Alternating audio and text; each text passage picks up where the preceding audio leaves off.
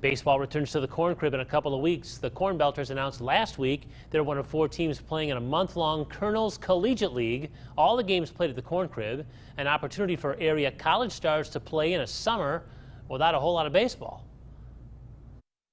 I think it's exciting to have the area players that are here, you know, like, uh, you know, they're within just a few minutes of the stadium. They've played in this stadium, and uh, it'll all play out kind of like an all-star kind of game for these guys.